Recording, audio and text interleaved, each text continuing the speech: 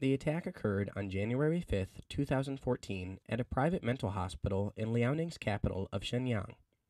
Surveillance video shows two male nurses violently beating a patient named Zhao Yanli for over 10 minutes, with several bystanders failing to intervene. After beating Zhao, the nurses left and the bystanders helped the man onto a bed. Zhao is said to suffer from schizophrenia and was hospitalized one day before the attack. The patient became quite emotional after being hospitalized. On the evening of the incident, he verbally abused the nurses on duty. The nurses failed to control their temper and beat the patient. The beating has left Zhao unable to move his arms and legs. He sustained serious injuries to his spine, as well as rib fractures. When we visited Zhao on Monday, he was in a semi conscious state.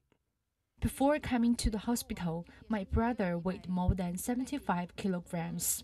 He could walk by himself and play poker.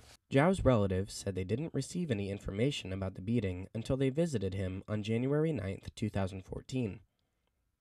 The hospital's vice director said the nurses failed to report the attack. I asked why they didn't inform us or give my brother any treatment. Someone said it was normal, that patients are often treated like this when hospitalized. Zhao's brother reported the beating online in April using a website set up by local authorities after failing to reach an agreement with the hospital regarding treatment and compensation for Zhao.